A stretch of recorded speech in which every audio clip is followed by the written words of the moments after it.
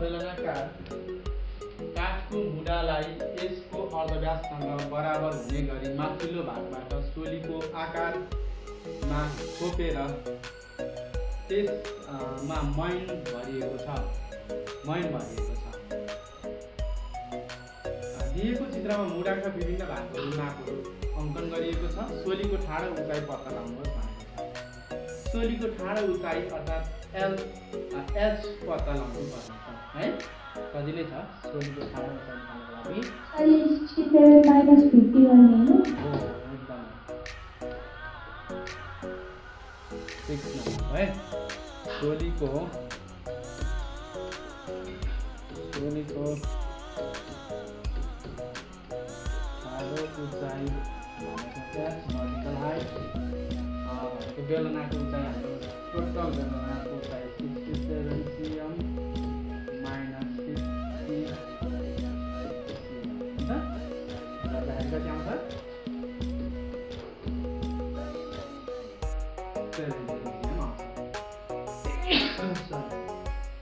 अब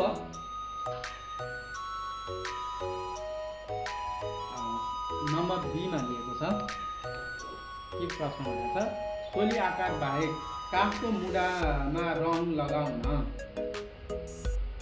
सोली आकार बाहेक काठको मुढामा रङ लगाउन प्रति वर्ग सेन्टिमिटर सर यो पिरामिड होइन सर? हो सोलीको सोली आकार बाहेक काठको मुढामा रङ लगाउन प्रति वर्ग सेन्टिमिटर पचास पैसाको दरले कति खर्च लाग्छ गर्न गर्न भनेछ के उक्त सोली आकारको भागको आयतन बेलनाकार वस्तुको आयतनको एक तिहाई हुन्छ? के उक्त सोली आकारको भागको आकार बेलना आकारको आयतनको एक तिहाई हुन्छ अब यो सबै कुराहरू हिसाब गरेरै हामीले भन्नुपर्ने हुन्छ होइन? नम्बर बी पऱ्यो बेलनाको उचाइ भन्नु है।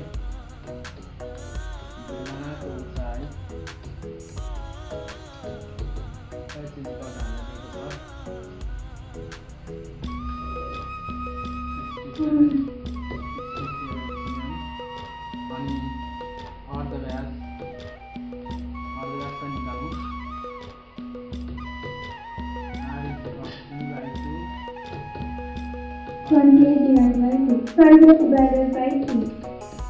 So, चलो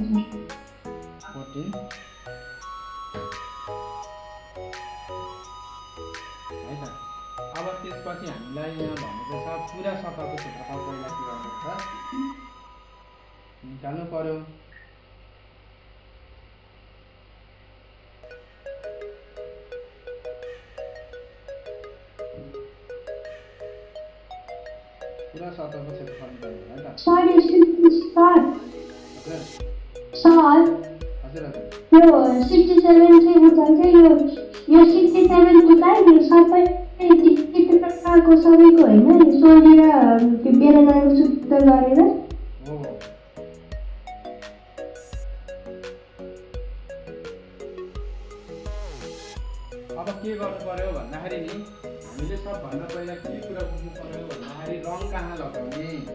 कुन कुन ठाउँमा लाउने भन्ने कुरा बुझ्नु पर्यो सोलीको आकार बाहेक काठको मुढामा रङ लाउने हो होइन?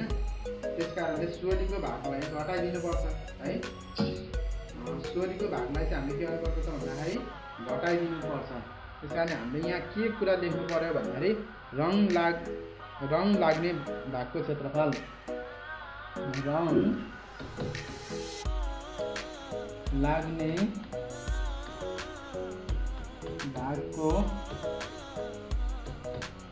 क्षेत्रफल एरिया भनेको के के हो? त्यो कुराहरू लेख्नु पर्यो अब रङ कहाँ कहाँ लगाइन्छ भन्ने कुरा बुझ्नु है? अब यो सोली छ।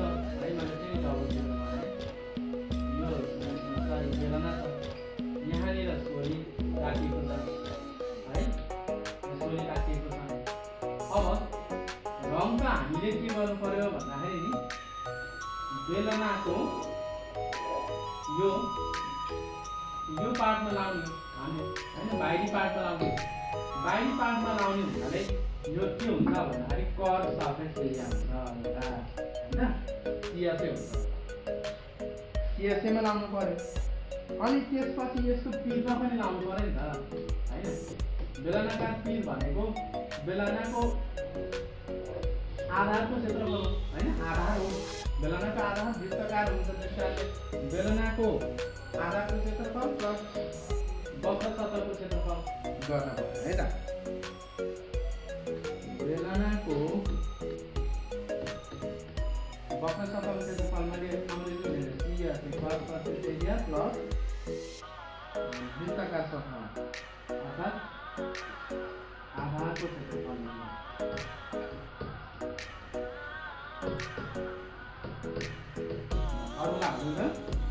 त बेलानाको सिएसए भनेको two pi r s plus pi r square r पनि छँदैछ एस पनि छँदैछ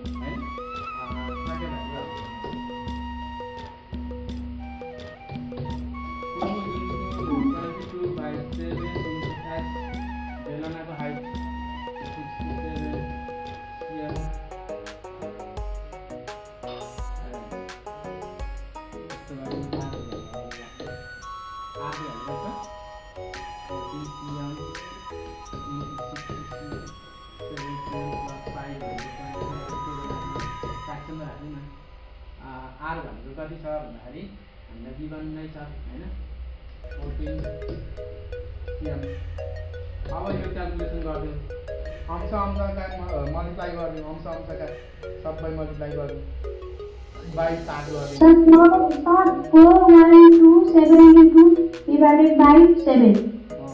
मैले एकैचोटि क्यालकुलेसन गरिदिएँ ल विद्यार्थीहरू हेर्नु तपाईँहरू बुझ्नुहुन्छ है यो क्यालकुलेटरले थिच्ने कुरा चाहिँ बुझ्नुहुन्छ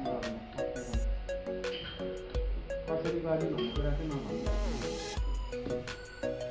दुई इन्टु बाइस इन्टु चौध इन्टु सडसठी बाई सात गर्ने यति आउँछ। प्लस बाइस इन्टु चौवालिस होइन? बाइस इन्टु चौवालिस बाइस इन्टु चौध इन्टु चौध बाई सात गर्नु। त्यो गर्दाखेरिमा कति आउँछ भन्दाखेरि छ।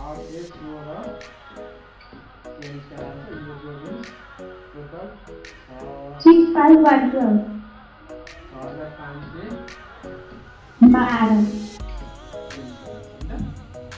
यति आउँछ अब रङ लाउने दर यहाँ के छ रेट रेट इजिकल पचास पैसा भनेको छ पैसा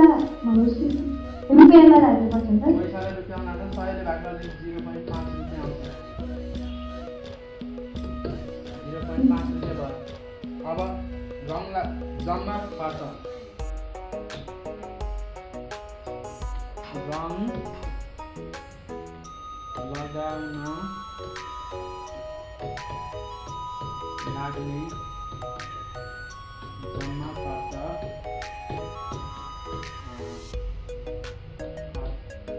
खर्च अँ,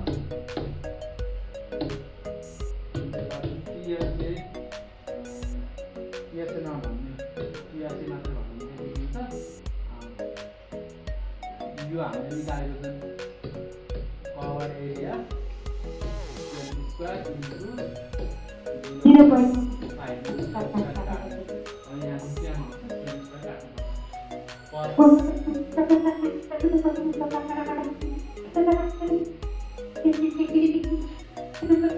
Two, five, six, three, two, five,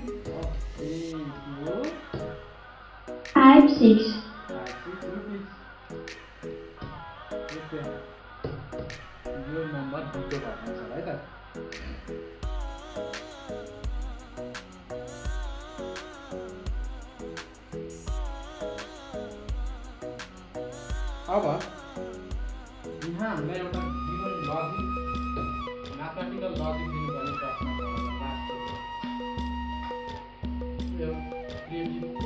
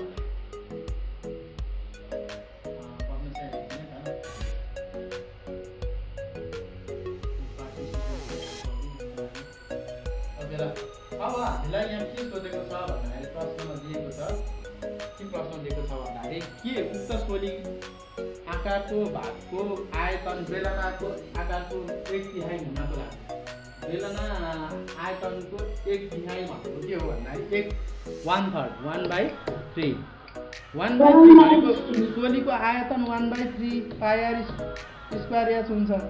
बेलनाको आयतन हुन्छ पायर स्क्वायर एच हुन्छ। यो हुनको लागि के हुनुपर्छ भन्दाखेरि नि हाम्रो बेलनाको उचाइसँग होइन? यो सोलीको उचाइ पनि के हुनुपर्छ त भन्दाखेरि यो सोलीको सोलीको उचाइ पनि बराबर हुनुपर्छ। र अर्धव्यास पनि बराबर हुनुपर्छ अनि मात्रै एक तिहाई हुन्छ क्या। है। के। रिजन चाहिँ त्यही ल। अब यहाँ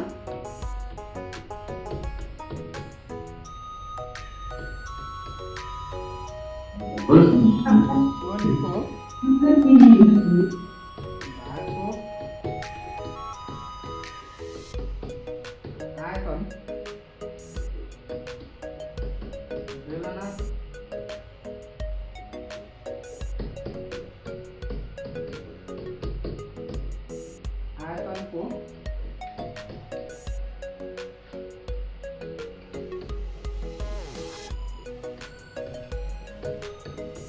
एक वान थर्ड हुन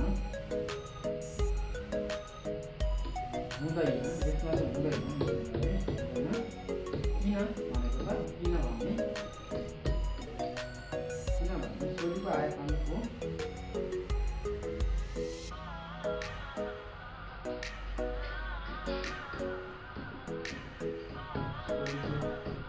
Cái gì nó thằng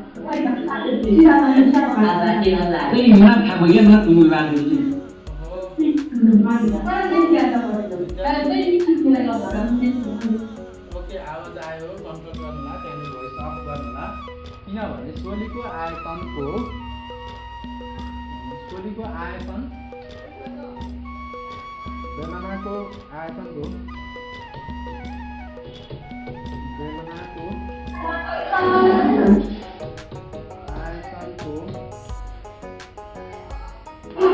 एक तिहाई हुन अर्धवास र उचाइ बराबर हुनुपर्छ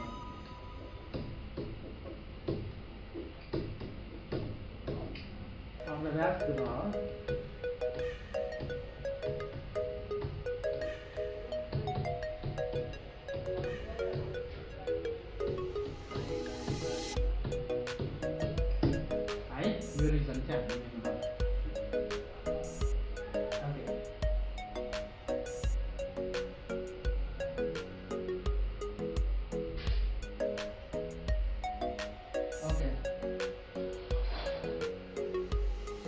एउटा आयताकार नम्बर सात नम्बरको प्रश्न छ।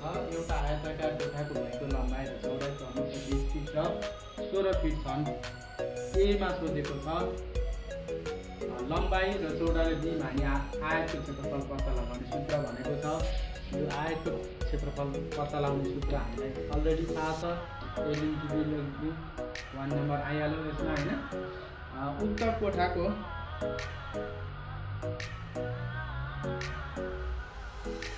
उक्त कोठाको भूमिमा चार फिट इन्टु दुई फिटका टायलहरू बिछ्याउन प्रति टायल दुई सयका दरले कति खर्च लाग्छ पत्ता लगाइदिनुहोस् हामीलाई ओके अब हामी निकाल्नु है त।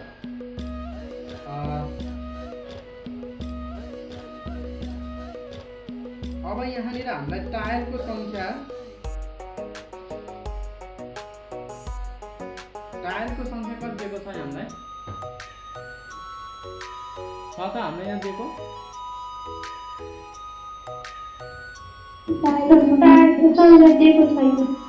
छैन टायरको सङ्ख्या दिएको छैन अब यो कुरा निकालिदिनु पर्छ क्या हामीले है नम्बर बीमा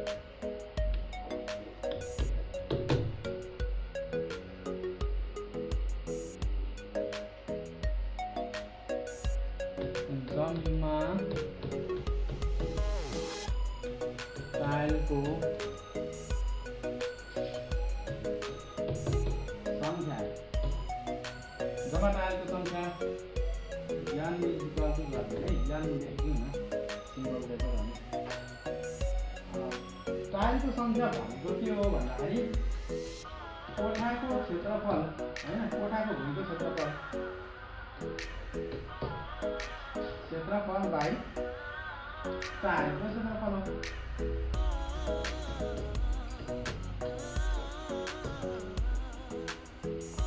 है? भनेपछि टायरको सङ्ख्या आउँछ होइन? कोठाको क्षेत्रफललाई एउटा टायरको क्षेत्रफलले भाग गरिदियो भने त्यहाँ कतिवटा टाइल लाग्छ? आइहाल्छ। कोठाको क्षेत्रफल हामीलाई थाहा छ। बिस फिट इन्टु सोह्र फिट। कोठाको क्षेत्रफल बिस इन्टु सोह्र। अनि प्रति टायलको क्षेत्रफल कति हो त भन्दाखेरि?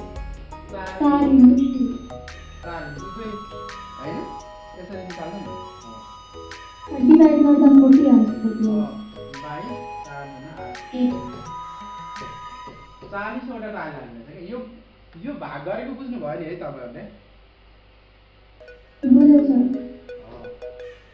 ल जम्मा टायल निकाल्नको लागि कोठाको क्षेत्रफललाई एउटा टायलको क्षेत्रफलले भाग गर्यो भने टायलको जम्मा सङ्ख्या आउने रहेछ भनेपछि अब हामीलाई इजी भयो नि होइन प्रति टायल एउटा टायलको बिस दुई सय रुपियाँ लाग्दो रहेछ। भनेपछि जम्मा खर्च। यहाँ के भन्नु टायलहरू बिछ्याउन लाग्ने जम्मा खर्च। equals to चालिसवटा टायर दुई दुई सय रुपियाँको छ त्यहाँ कति आउँछ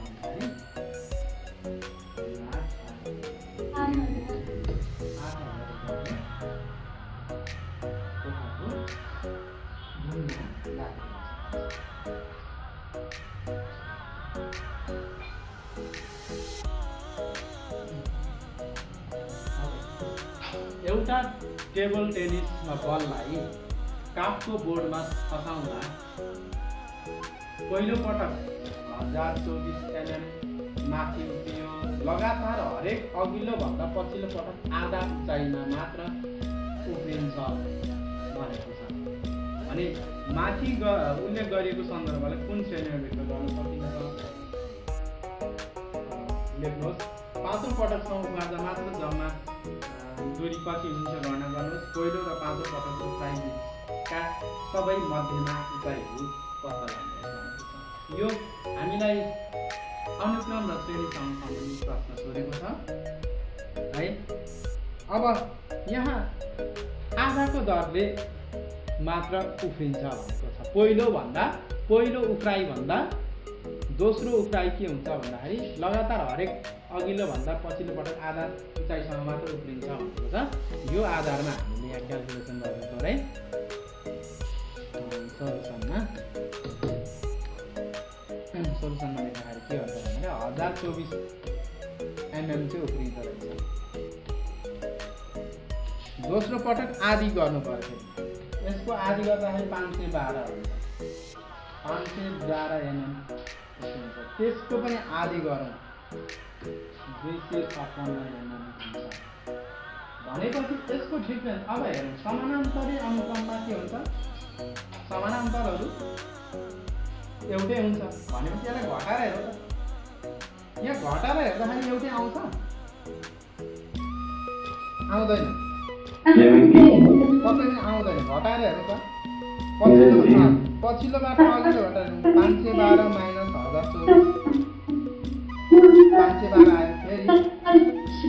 अनुक्रम भनेपछि दुई सय छप्पन्न दुई सय छप्पन्न माइनस पाँच सय बाह्र होइन भनेपछि यहाँ के छ भन्दाखेरि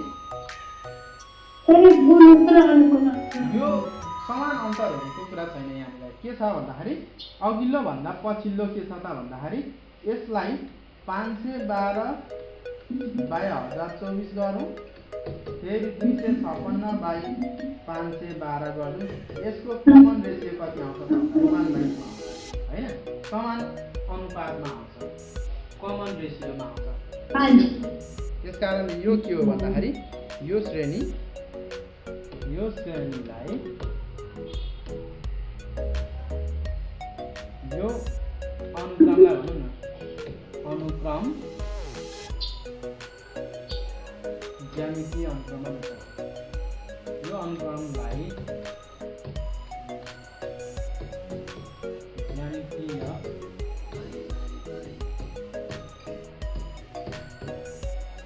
अनुक्रममा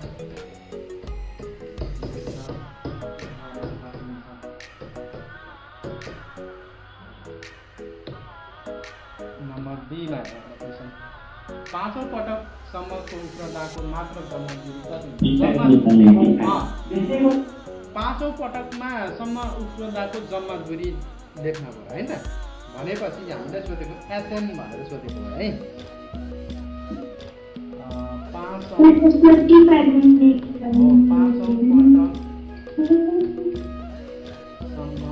ओवर से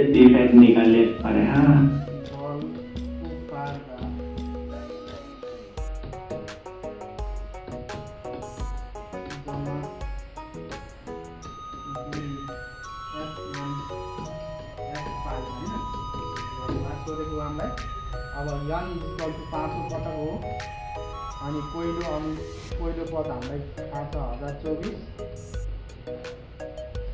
दिएको छ अब यहाँ समान अनुपात कति छ त समान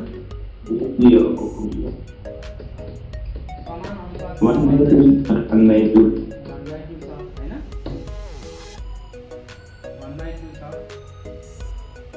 त्यसपछि फर्मुला कुन लगाउनु पर्छ होला भन्नुहोस् त?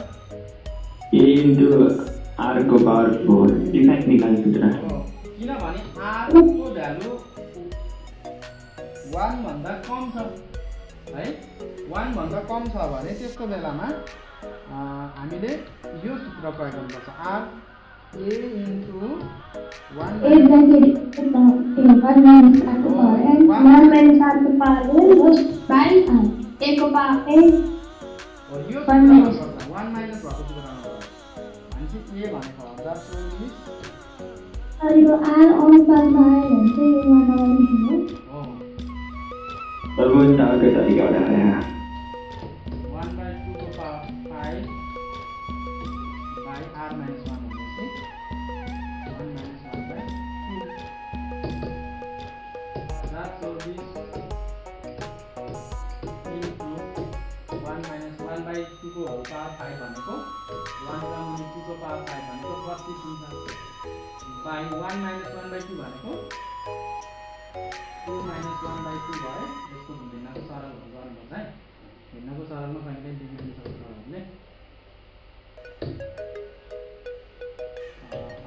so this into uh, what is it eight of this by what is by eight by 2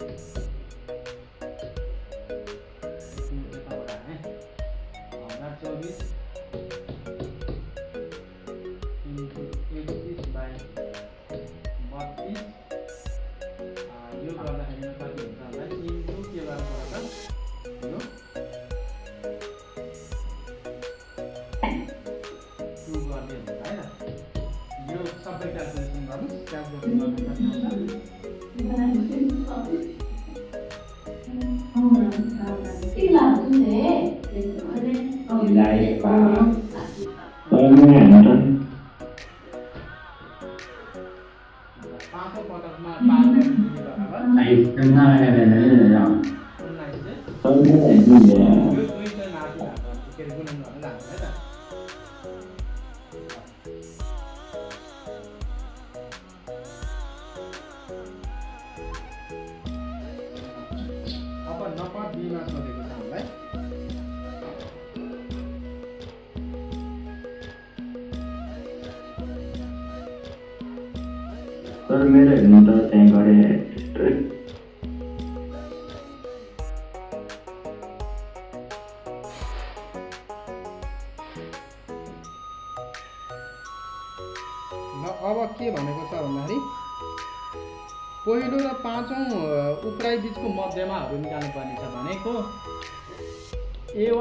A फाइभसम्मको होइन?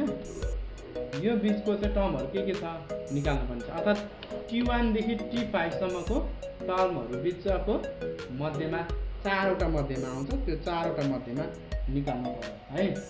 नम्बर सीमा छ। हजार चौबिस छ पहिलो।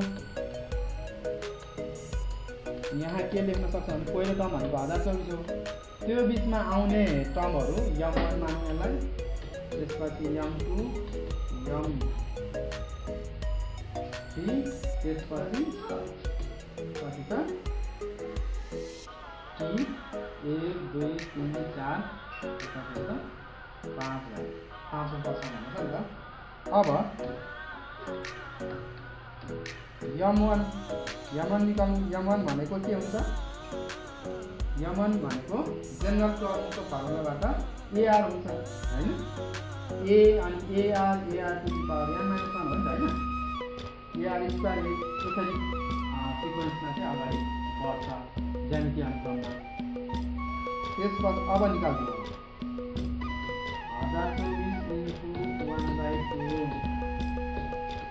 पाँच सय बाह्र होइन निकालेर जाएको भयो यम एआर स्क्वायर हज़ार चौबिस इन्टु वान बाई टूको स्क्वायर हजार चौबिस इन्टु वान बाई टू